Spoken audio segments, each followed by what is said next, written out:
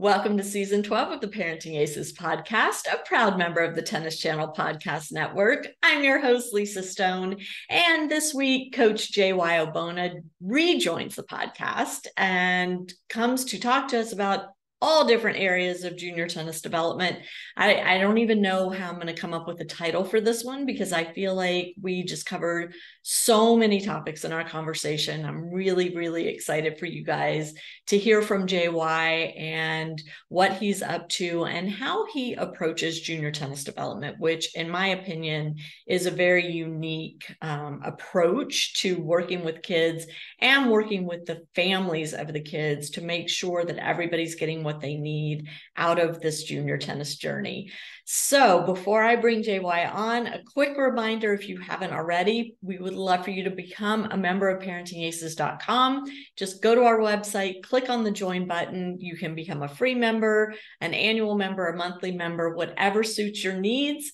If you become an annual member, though, it also includes two complimentary consults with me, and we can discuss anything that is on your mind about your family's tennis journey. So take a look at that. And now sit back, relax, and enjoy my conversation with Coach JY Aubone. JY, welcome back. It's been a little bit since we've had you on the podcast. I think toward the beginning of the season, actually, and now we're toward the end of the season. Um, great to see you. Cannot wait to hear what you're up to. But before we jump into that, our audience knows you recently became a dad and want to hear how that's going for you. Uh, well, thanks for having me on and thanks for giving me a chance to, to talk about my son that because you want to talk about a life-changing experience in, in so many different ways. But I think what's great is I can finally at least now talk from the perspective of a parent. I can see like what parents go through, which I think is only going to help me help other parents, at least in specific to tennis. But I mean, what an incredible journey! It's been almost two years, and just the change and everything, the life and watching them grow up. I mean, it's it really is the greatest thing you know I've ever just been a part of, and uh, it's the biggest responsibility. But I mean, it's the best responsibility and yeah, it's been great. I mean, I love it. Hardest thing I've ever done in my life, like by far. like there's nothing. I know, like tennis and tournaments and nerves and pressure and presenting and traveling. This is the hardest thing I've ever done in my life. But I, I'll never forget what my assistant coach at at Florida State once said. You know, like usually the the harder the things are, or the more we don't want to do something, the better they are for us you know, we talk about how the salad dressing, you know, it's the most unhealthy part of the salad. I remember, yeah. I still remember that was my freshman year. And Nick was, Nick Kroll was talking to me about that. And I just, I mean, this is it. It's the hardest thing I've ever done, but it's like the most rewarding thing I've ever done. Um, so it's been great. I love it. I love it.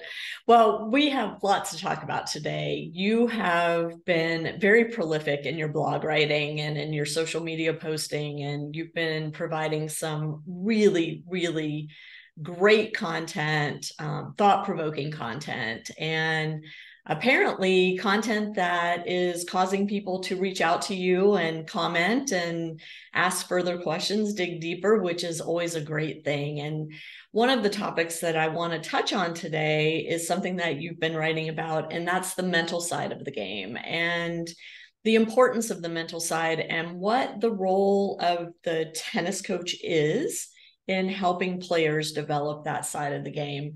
After we talk about that, we're going to jump into some other topics as well because like I said, you've been very prolific and I want to I want to pick your brain a little bit. But but let's start there. What are you hearing from the players you're working with and from their parents about some of the gaps in training along the mental side of tennis? Well, it's definitely the it's the hardest part to work on.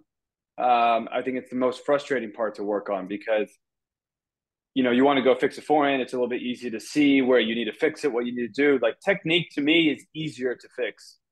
Uh, it's there's a visual aspect to it, and it, it's kind of pretty clear cut. Especially if you put on video, you want to go that far. It really makes it a lot easier.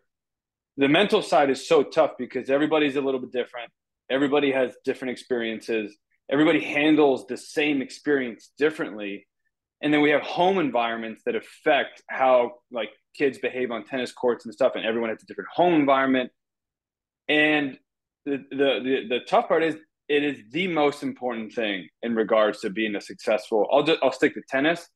You can easily make an argument it's for every sport anything we do in life whoever can handle things mentally well you're going to do good. But at least in tennis i say this a lot you know you can have the most beautiful technique in the world if you can't perform under stress pressure and nerves doesn't matter. You can't you can't execute that perfect technique because your body's going to freeze. So it, it's the most important. That's the most common question I get. How do I play well under pressure? And how do I do well like when I'm nervous? And it's not an easy answer for me because also I need to get to know the person. Mm-hmm. I need to know why they're feeling the way they are. Where does it come from? Why are they thinking? Some people are afraid to lose. Some people are afraid to win. Some people have so much pressure to win. Some people don't care enough. Uh, some for some they they don't work hard enough in practice to where they don't have good habits in matches. But I, I won't see that in one conversation or even two. I need to see that a lot. Um, so yeah, it's tough, but it's the most important thing I, I try to help people with. And when you say you try to help them, how can a coach help a player overcome some of these blocks that they have to achieving their highest potential? The first thing I try to identify is like, okay, what's the easiest and most simple stuff I can help someone get better at? And that's usually strategy and technique. Is there something technical that's holding them back? Because if your technique is that bad or it's bad, you know, let's try to get it better because you have a better chance of putting the ball in play. Uh, the next part will be strategy. Do you have any idea what you're doing on the court? Do you are you setting up your strengths and hiding your weaknesses, or are you just reacting to everything? Are you recognizing patterns and putting yourself in good positions and points? Those two things are the easiest, but some of the things that aren't coached because the technical side is coached, but the strategy side of it um, is not coached because we've said this before in other podcasts. Most coaches don't watch their kids play you know competition so they don't mm-hmm. see where those things happen. Um, and then if, if those if the fixes we make there still have issues like with them executing under pressure you know they're the technique's gotten better. Uh, they're not making bad decisions anymore. They're just hitting to the right spot of the court. But they keep missing anyway. That's when i have to now dig deeper. Mm. so but i try to not dig deeper because i don't want let me rephrase that. I try to not dig deeper right away because why do I want to get into somebody's heart and soul and deeper issues in life too quick when if they just hit the ball across court more than they hit it down the line, everything's fine. And we don't actually don't need to go like to like, hey, well, what's going on here? Why you think? Because if we make an athlete think too much, they're also done. They mm-hmm. can't they, they can't perform. I was listening to a great video, which I'm definitely going to turn into a social media post Justin Fields, the quarterback of the Chicago Bears, talking about how he's thinking too much, right? So I really want to be careful with that. How can I make simple and easy fixes without making them think too much? But some players, it, it's not enough, and I need to dig a little deeper. And then that's really where the conversations start. Um, all right, let me watch you practice. You know, um, I know I do do a lot of online work, but kids have been coming to see me and get some work in on the court. So I'm like, okay, Let's go play a practice match. Let's talk things out. Let me see what you're seeing. And that's where I get to see some habits. And some kids work really hard and they do everything right in practice and they have a great attitude. So I'm like, okay, so it's deeper than just practice habits now. Now I need to go one step further. Okay, what's your grow what's your life been like growing up you know what's your environment are you comparing yourself to people what are your expectations and as you can see like all these things i need to look at to really get to the core of like why someone can or cannot perform well under pressure, it does not happen overnight or even over one week. It takes a long time. Now, yeah. sometimes we get the answer quicker, but that's mostly a little bit by luck than it is like I have this great picture perfect process that if everybody follows, because everybody's a little different. So I don't know where to start. I have my go tos, and then it's from there. It's just re, you know reacting to the situation, seeing what's working, and see what I think might go best after that. How does fitness come into play with all of this? Because you didn't mention that yet. I probably should have. Okay, so that's great. You know, I mean, if you're See, this is why we all, I always talk about working better as a team because yeah. we forget stuff. So thank you for bringing that up because that should probably go in line with, uh, you know, your practice habits good? Are your strategies correct? Because I was talking about this with to a player, uh, I think a week or two ago, and I said, look, you play two matches a day, right? So, but you only play tennis an hour and a half, two hours a day. But then you go play a tournament and you're playing four to five hours a day, and you're signing up for doubles at every opportunity. Now, once in your life, have you ever practiced even more than two and a half hours a day? So, in order to be able to play that much tennis that long and on back to back days, right, we need to start replicating that work somewhere. You know, this is where we can ask questions about homeschooling and stuff, but that's a whole big topic, right? But your fitness has to be on par with the level that you're playing at and trying to get to as well.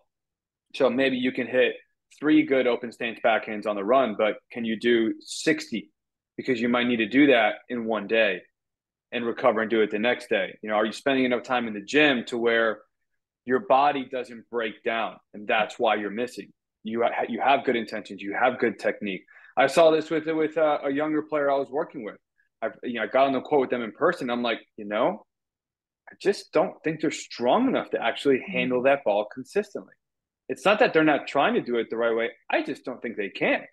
Yeah. So actually, I'm not your answer right now in regards to that shot. I we need to call a strength and conditioning coach. We need to get your your fitness program.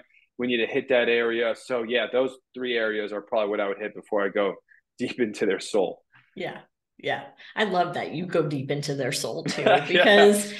that to me is the sign of a coach who cares, right? It's not just about hitting forehands and backhands. It's not just about footwork. It's not just about, you know, being in the gym, but it's also who are you as a person? I care about you. I'm your coach. I'm here to see you and help you develop your whole person, not just you as a tennis player. And this is why I keep having you on, JY. This is what sets you apart as a coach because you you do show your players that you care about more than just what they're doing on court. And I, I love that about you.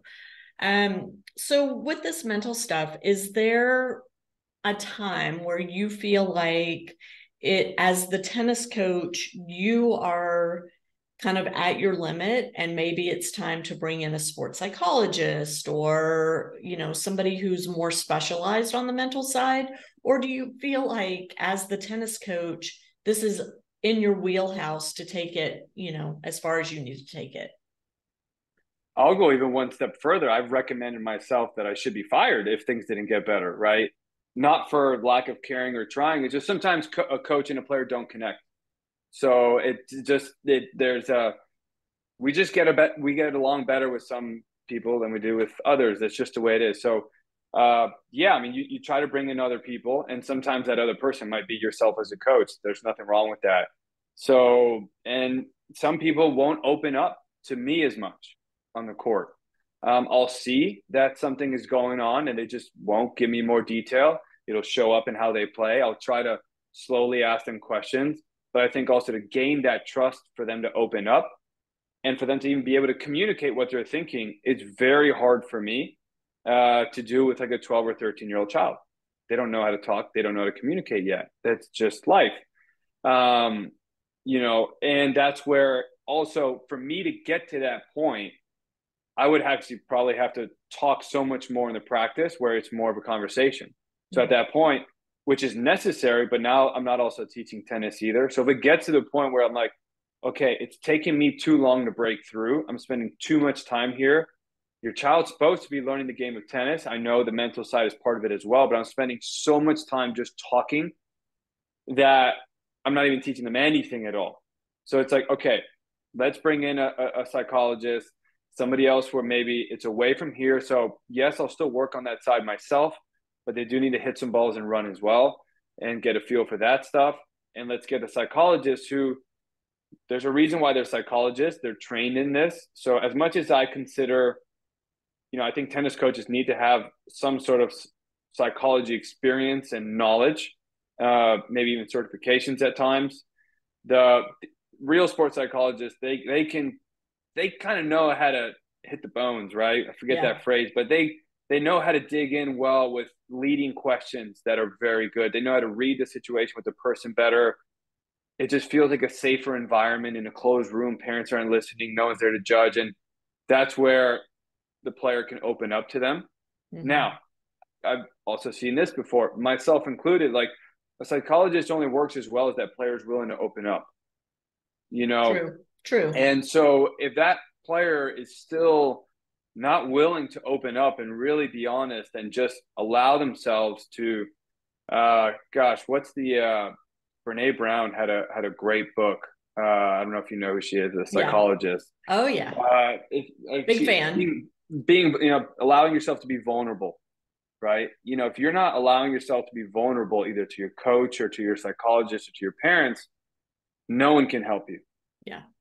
And so, but psychologists kind of know how to lead you down that road probably better than most tennis coaches.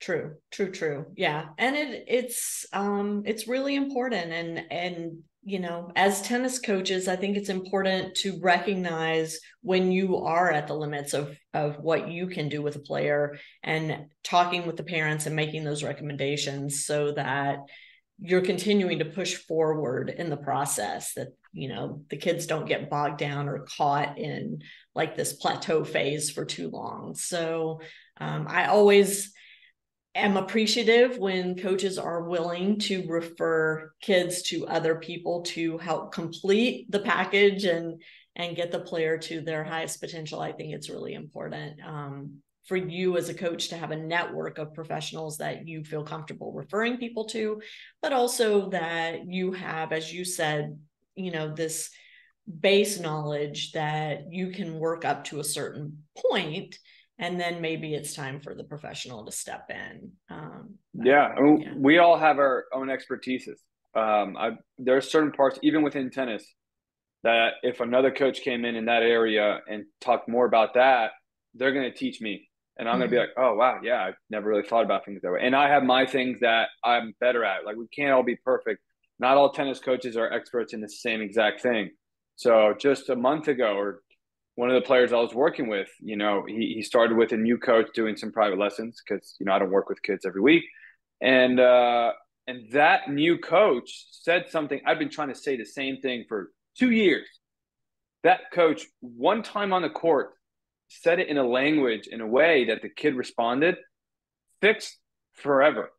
And I'm like, wow.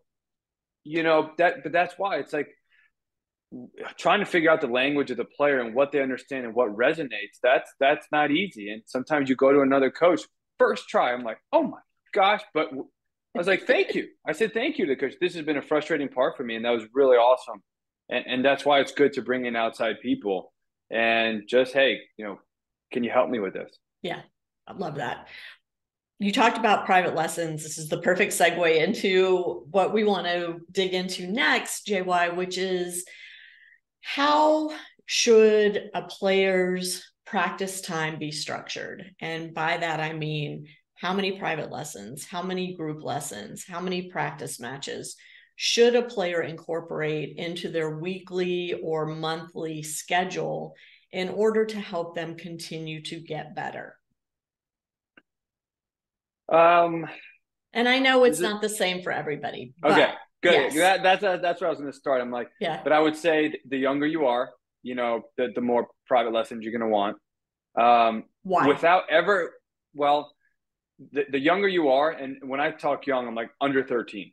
You okay. know, under 12. I'm talking about your your anything under that. Really, you because technique is so hard to improve once they're over 13, 14 they've either played too much tennis or they're too they've started to become more aware of what they're good and what they're not good at they're more sensitive to things when they start to fail.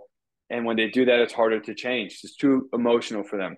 When you're young, every you're, you could hit a ball over the fence. You think it's the greatest thing in the entire world. So for you to work through technical changes at that age, it's much easier because okay. they're not so focused on winning now. Um, so you want to get that technical base as young as possible. Now, when I say spend more time doing private lessons, I'm not saying exclude groups, exclude match play, but you know, maybe when you're 16, you might be doing one or two private lessons a week.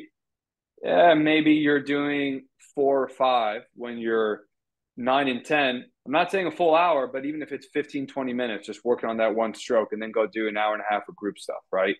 You know, as much as you can get when you're younger, then the better you get.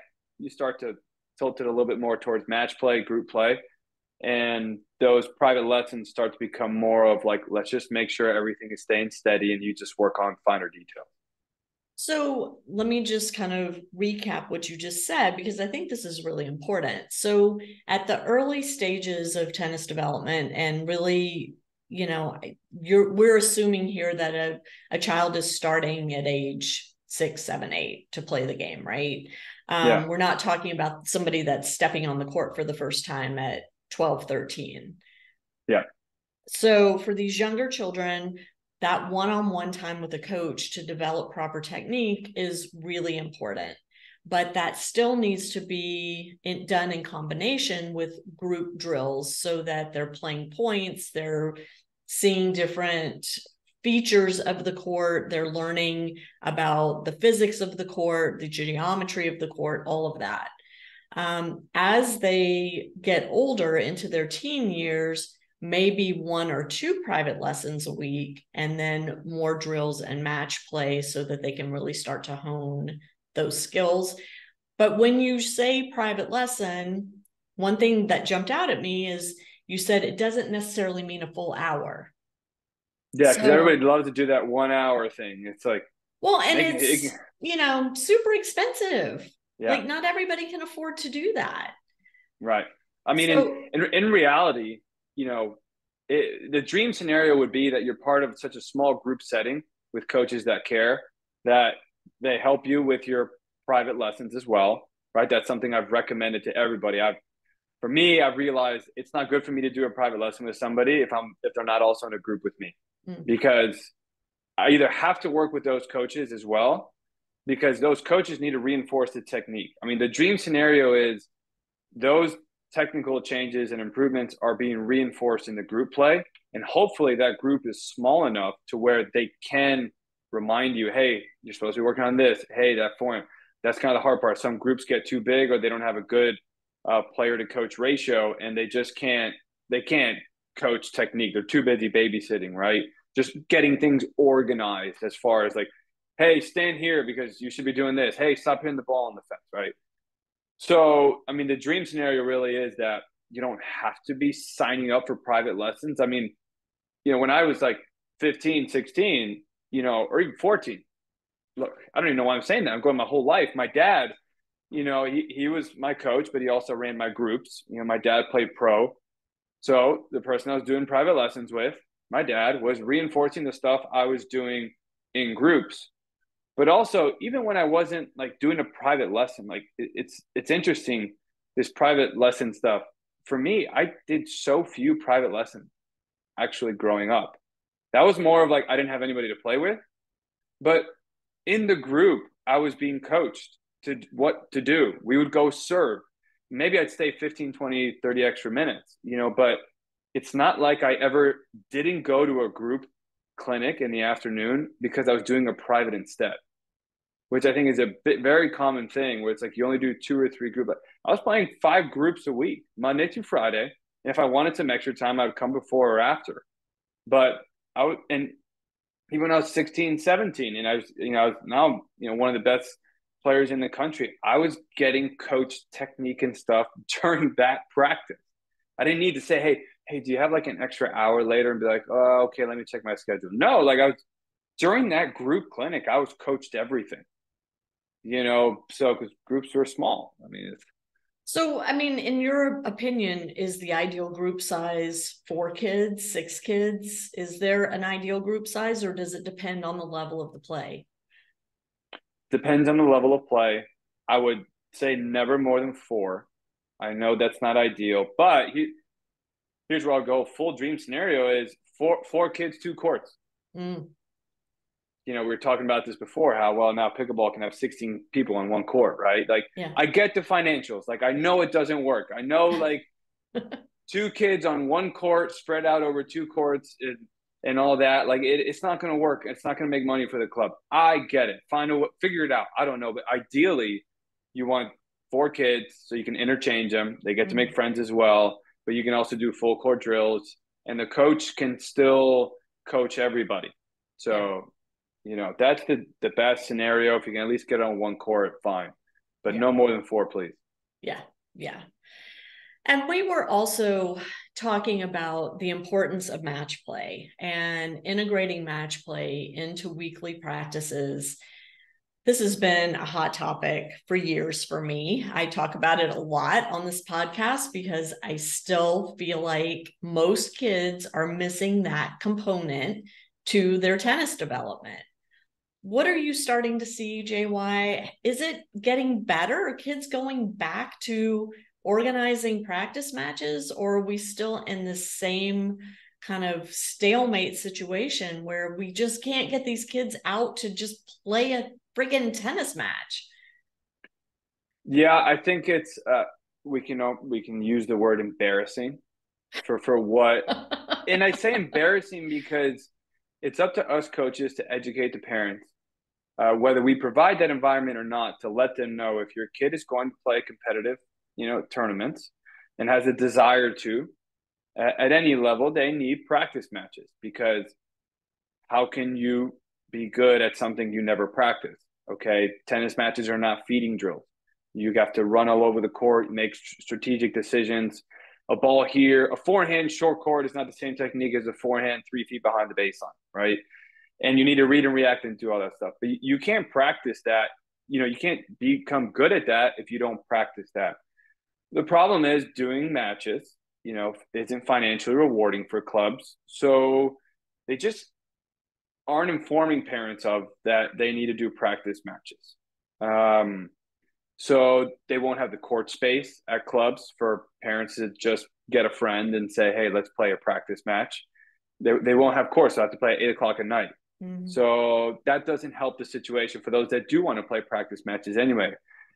Um, others clubs but there will... are public courts. I mean pretty much every town has at least one park with public tennis courts where you can go play and either it's free or it's a couple bucks. I mean well and that's that you know and that's the other part of it right? I think the the inconvenience of having to find somewhere to play a practice match sometimes isn't you know the, they love everything to just be done for them. They drop the kid off and then that's it so, look, I, I, get it. I have a I have a child now. Like I don't want to be. I get it. I, I get it.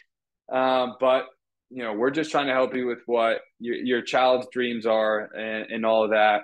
But I think the other part too with that is they're, they're also not being formed informed that practice matches should be part of their weekly training structure. So, because if the coaches start to inform them of that, then the next question would be why are you not providing that for us then? Right right. So that's you know academies aren't going to want that question back but let's just say they do. Okay let's go this is going to be the final part where let's just say we because there are some good academies that they really try everything. Even if they can't provide it we know there are some good ones informing parents of everything they need to do. Um you know a lot of kids won't play practice matches because they have to find the UTR that's exactly their level or better. They will never play with anybody that's a little bit lower than them for too many sensitive reasons. They can only play with their two, three friends. They won't want to practice with somebody that they don't like. Yeah. Right. So they also limit their pool of who to even ask. Right. And I think we're also in a, in a generation where we're, I think parents are almost a little too hands on with certain things. And kids just kind of are expected to have their lives organized where it's like, hey, go ask a friend to play a practice match. Mom and dad shouldn't have to do this all the time. All right. I, I, this one I've never understood when kids, you know, they only go to tennis two, three days a week for that group clinic, right? Maybe one yeah. private. So they have like two extra days. And like, yeah, I just can't find a practice match. I'm like, how many kids are in your group? You can't, you want to tell me you can't, not one of them will play with you. Right. Go go three courts down to the next group. Ask them. They, they can't find anybody. I'm like, are you you're joking me? I don't think they're really asking. Yeah. You know, because if you're part of a group clinic and you can't find somebody to play with, I don't know how hard you're asking. You know, and yeah. so and I don't know how many kids you're asking. And if you're asking everybody in the whole world, maybe, you know, I don't know, you pay them 10 bucks. I don't know, buy them a McDonald's Happy Meal. But it's got to be part of the training structure. It, it really has to be because, as I said, you, you can't get good at what you don't practice. Right. So, JY, I mean, as a coach, what do you tell the kids you work with about, you know, how many matches a week they should be playing? And what do you, how do you educate the parents of these kids? Because I've been trying to do it for years and I, I'm obviously, you know, some people are listening, but we still have a long way to go with this. Yeah. One, I think what's also hard is trying to set up a schedule that actually works, not just for the player, but the family, driving them around and that's not easy, especially when one yeah. place isn't providing you everything.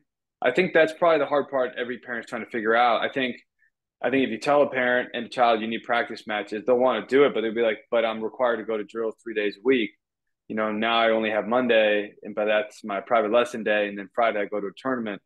So, and, and that now it becomes hard to try to figure that out. Mm-hmm. So, but I say, look, I you, you need at least one practice match a week if you can at least get two, if you can get two days, oh my gosh, you're you're doing great. If you can at least get a set on two separate days, at yeah. least that, you're doing great.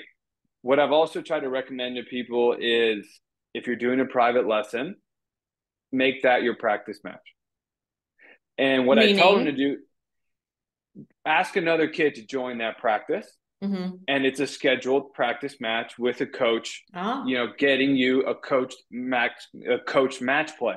Mm-hmm. So, because what, what a lot of kids struggle with is getting feedback on strategy and everything because they don't play sure. enough full court points. So I said a great workaround is that is tell your your the coach who does your private lessons, hey, I want you to coach me through a practice match. Find another kid. Mm-hmm. You know, I, I, can't find anybody. Can you please find someone? So that's a great way because people are going to respond more to a coach asking for a private lesson than probably yeah. like another uh, sorry asking a coach asking for a practice match to right. somebody to come in than another kid or parent. So i think that's one workaround that i try to tell people. Don't worry so much especially if their technique is good enough. Yeah. You know it doesn't have to be like you got solid technique. Hey you got a tournament this week. You don't have another day where you can play a practice match. Make that private lesson your practice match. If you still can't find anybody play with a coach. You know, it's not the same. It's still better than nothing. Right. You know, you got to get some full court movement in for a full hour, hour and a half, and you know, play a practice match. So, and then you know, that's what I'll say. So, one to two practice matches, one private lesson or two, and then just the rest groups. That's that's what I recommend. And I'm like, and you need fitness three days a week. Yeah, it's a lot. It's a big commitment. And I get that not everybody has the flexibility to make that work, but there are workarounds, as you said. I love the idea of turning the private lesson into the practice match. And I can tell you just from my kid's experience when he was in juniors, he used to play practice matches with a coach. And coaches are great practice match partners because they can make your kids so uncomfortable on the court and force your kid to learn how to respond to that discomfort in a way that a friend just isn't able to do. And I think there's a lot of value in that as well. Yeah. And what you mentioned there, I think I, I'd love to follow up on where you said about, you know, how much time everything takes. And it's like, what I try to do with everybody is help them with their time management. All right, this is everything you need. How are we going to fit this in? So mm-hmm. I was mm-hmm. going through the other day with somebody who they're not that strong physically. I said, well, you can make your warm up your fitness session. So, it, you know, if you're not a very strong person, like your weights on your back and all that, then you can do body weight exercises as part of your warm up. And so now you're warming up for your tennis game. It's 10, 15 minutes, but you did 40 squats, 20 side lunges on each leg, 15 push ups, you know, found a bar, you did 10 pull ups, and you just got a little stronger. And now you just warmed up. So, that that can be a workaround for something you're doing, right? I think it's just trying to just just got to be smart with it. A lot of times they think, well, now I need an hour and a half at this gym session. It's like, no, you you don't need that much. You need this stuff, but tell me all the time you got, and then let's see what we can figure out. You can't do a full practice match for two and a half hours. Can you give me an hour? Yeah. Okay, let's do an hour. It's better than nothing and just doing group drills all day long where four to six on a court and you never get full court points. One of the things that I learned from Frank Giampaolo, and I don't know if you've read his books. Oh, I read his book. Yeah. Read his book. Yeah. So one of the things that he has kids do when he first starts working with them is to write down all the things that they have in a day and how much time everything takes. So for example, you know, what time do you wake up? How much time do you need for breakfast, getting dressed, going to school, um, having a snack after school, getting to practice? How much time do you need for homework? How many hours a night are you sleeping? Um, you know, how do we squeeze family time in? And then work backwards from that to figure out where the tennis fits in, you know, and yep. what are things you can cut out? Where are things where you can find little pockets, like you said, even if you have 15 minutes, that's enough time for a workout. That's enough time for a mental training or, you know, to sit and sorry, I'm losing my earpiece here, um, to do a meditation, you know, to get yourself mentally ready for that next session. Um, you know, let's say you have 10 minutes in the morning between the time you're finished getting dressed and the time it, it, takes to leave for school that's a great time to write down your goals for the day. And that's a valuable piece of your training. I mean, they're just, there is time there. We just forget to utilize it in the most efficient way possible. And believe me, I am a firm believer in downtime. I think our kids don't get enough downtime, and downtime isn't playing video games, it's not being on social media. It's, you know, chilling with a good book, it's listening to music, it's playing an instrument, doing something that is satisfying and and really soul satisfying more than anything else but video games and screen time do not fit into that well I, I, always try to schedule in you know full weekends off you know for everybody at least once a month saturday mm-hmm. sunday no running, no tennis, anything. I do think that's just get away from tennis. Don't think about it. Yeah. Um, do whatever you want and then just get back on Monday. I, I think that's very important. You know, I, I do, you know, when we talk about time management and stuff, uh, I want to bring up the example of somebody that I've been working with for the last two years because, you know, it's very important. How, what do you want out of tennis, right? Yeah. How far, you know, how far do you want to go in tennis? This person wanted to become, they literally wanted to become the best tennis player they could be. And it's not just because they said it, because I hear that from every single person that shows yeah. up. I want to be the best I can be. Okay, great. Show me. Right. This kid showed but, me. But let me interrupt you one second, JY, because this is another thing that that I really try to encourage families to do.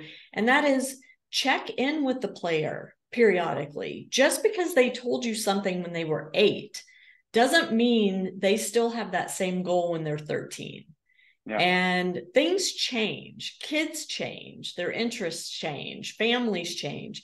So, you know, it's important to to revisit these goals that these kids set for themselves every 3 months, every 6 months. You know, I say more often than yearly because I think, you know, kids are changing so much as they go from age eight to 18 that you can't wait a whole year to revisit it. But anyway, I didn't mean to interrupt you and get you off track, but I, I really do feel like it's important that just because a kid says something at one age doesn't necessarily mean they're still committed to that same goal two years down the road. Oh, and you can even make the same argument for within the first month. Yeah. You know, I think you can generally look at somebody and just start to see some signs that something is off, something is different, something is changing. We need to give them an opportunity to speak up by the way they go about things.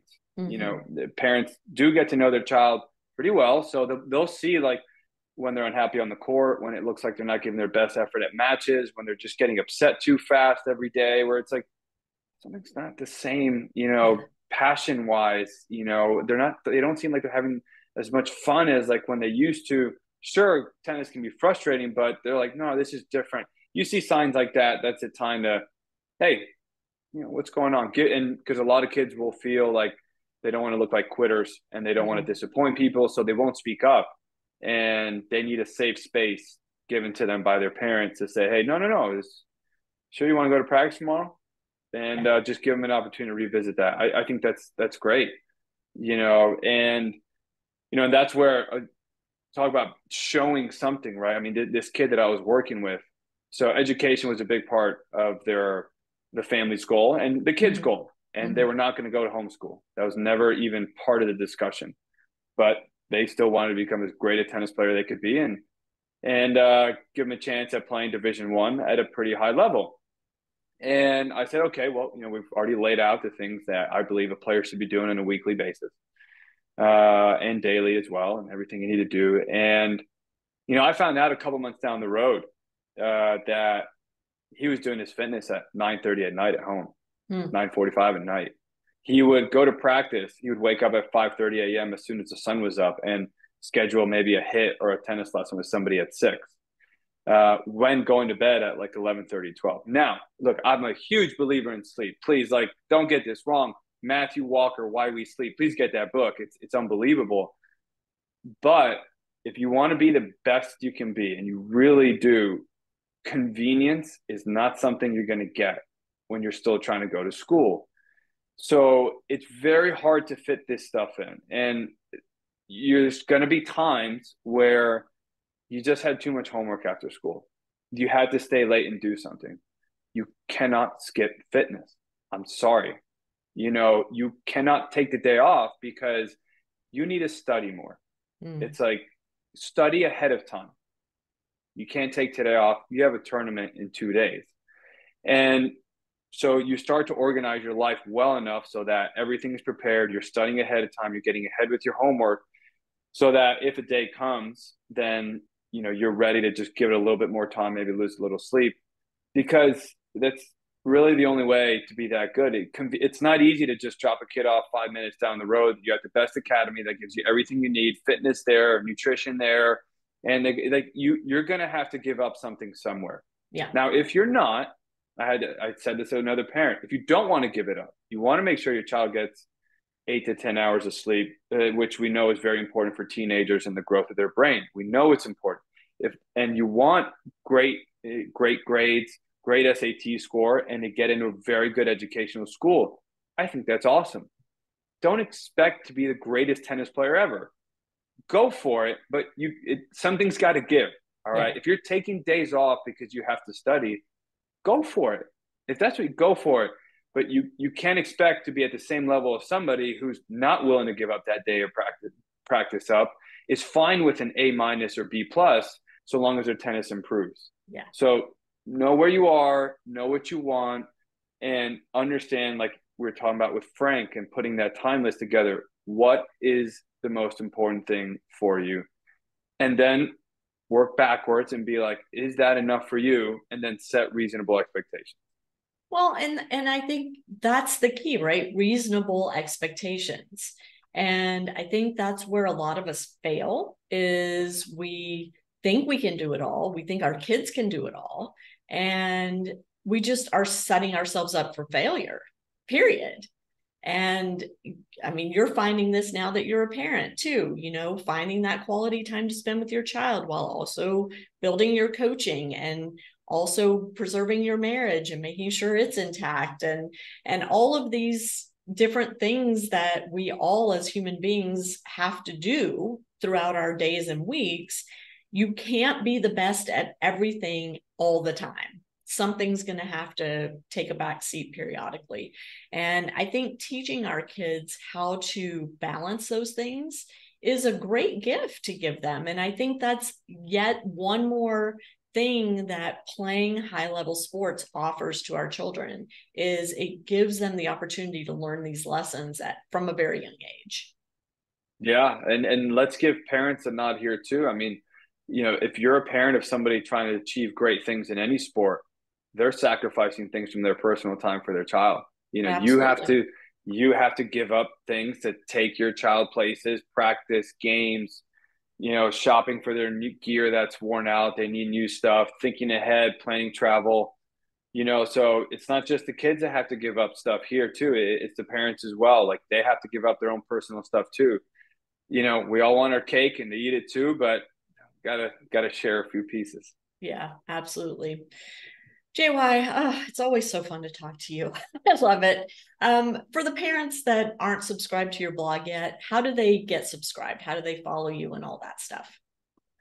I'm everywhere on social media. Aubone Tennis. Uh, you can also go to just directly my website, you know, aubonetennis.com, A U B O N E tennis.com. And, you know, I'm there. It, it's pretty hard to not reach me, you know, so just re- reach out to me at any time. I try to help in any way I can uh, within the time that I got, of course. And yeah, just, you know, I'm trying to do better also at putting out more information as well, you know, but time management. so, yeah it's always a challenge, but you're doing a yeah. fantastic job. And I always get excited to see your posts because there's always a pearl or two of wisdom in there that uh, we can all use. And um, thank you for taking the time to do that. I love talking with you. I I still say one of these days that I'm in Atlanta, I'm going to come have a lesson with you, and we're going to be on court together and meet in person and and get to hang for a little bit because I I feel like we have a friendship over podcasting, but um, I do look forward to seeing you and meeting that little boy before he's in kindergarten. Um, hopefully, that'll happen one of these days. Well, I'm looking forward to it, and maybe who knows? Maybe I'll even see uh, Indian Wells next year over in California. So that'd be fun. Hopefully, we can make that happen. That'd be great. Thanks again for coming on. And to my audience, thank you so much for tuning in. We will catch you next time on Parenting Aces.